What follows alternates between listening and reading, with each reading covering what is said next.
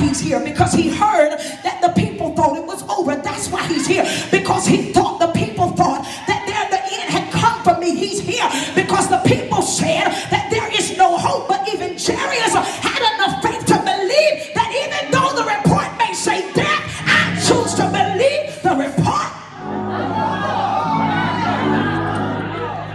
And because of the faith of the man, watch this. We're going to worship tonight. Watch this.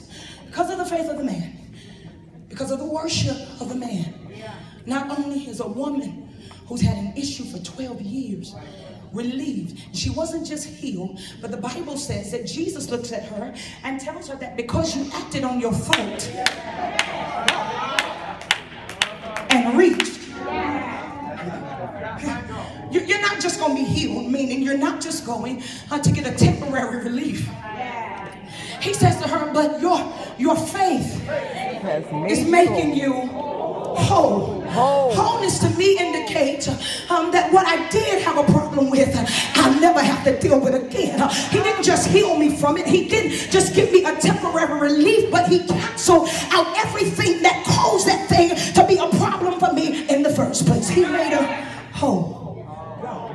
So she is both healed and made whole. And now the man must continue to keep his faith in check. Yes, yes. Because the people said your daughter's dead. The Bible said Jesus heard it. And sir, I don't only believe that Jesus, because the Bible said he heard what the people said, but I believe also that Jesus saw what Jairus did. My God. They came to him, told him she's dead. But the man never looked at Jesus and said, Don't worry about it. The man never looked at Jesus and said, That's all right. I believe that the man stood there understanding that my worship has laid the groundwork and a miracle is getting ready to happen for me. So because Jesus sees a man who can stand by faith even though he's hearing death. Jesus continues, he goes into the house. He touches the damsel. He commands her to rise. And so she does. This is my point for the day.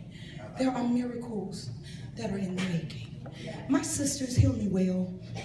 I got scared. I'm not lying. I got scared because it seemed like worship and praise hit these men of God just like out of nowhere. I got nervous because the Lord let me see that the miracles that are in the making to us tonight are coming through the men of God. I know this is not common for Women's Day because we want to talk Hannah and Ruth and Esther in such a time as this and Deborah and the women who defeated the enemy. But can I say to my sisters tonight that the miracle that's in the making for you is coming in through the worship and faith of a man. The woman didn't work for that. She didn't labor for that. But the man went to Jesus and he initiated a miracle service. And he showed up and worshiped in faith. So this is what I need if my brothers don't mind assisting me. I need every man of God that is under the sound of my voice. Every man that has relationship with Jesus Christ, I need you right where you are, if you don't mind, just to rise. And I need you, however you, I just need y'all men to start worshiping. I know it sounds crazy, sisters, but just let the men of God lead us in worship. And I'm saying to my sisters that as the men of God begin to worship, as they begin to release their faith,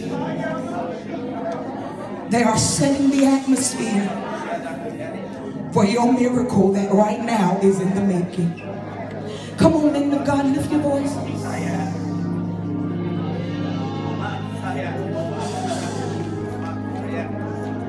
Come on, men of God, create an atmosphere.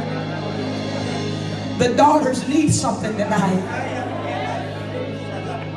There's a sister that needs strength for her journey. There's a woman that needs to be made whole. Come on, brothers, and worship. Oh,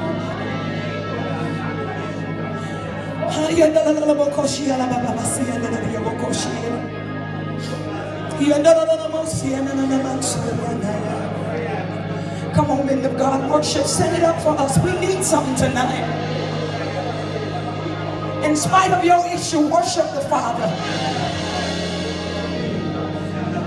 In spite of your circumstances, worship the Father. Come on, man. Come on, come on, come on, come on, you want to start walking, I need a few of you just start walking. Just start walking in worship. Start walking in worship.